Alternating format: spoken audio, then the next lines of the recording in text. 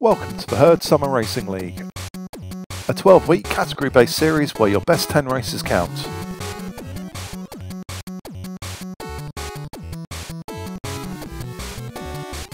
Each race, except the individual time trial events, uses the in game sprint and hill segments to allow you to score points based on your time for the segment against others in your category. All of these segments count towards your final points total, so if you're doing a race where there's one sprint and one KOM each lap, and there are four laps, that's eight chances to score points.